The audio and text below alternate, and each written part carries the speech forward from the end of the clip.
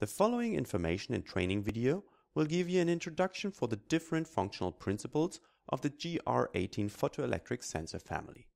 The first video will inform about everything you need to know about adjustment procedure, switching points, as well as black-white shift of different proximity sensor types.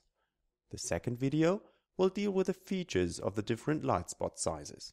The third video will demonstrate the detection of objects over a large detection angle. The fourth video will explain which influence the background could have within an application with a scope on critical backgrounds. The fifth video will give you an introduction into retroreflective sensors. And last but not least, the sixth video provides some background information about through beam sensors.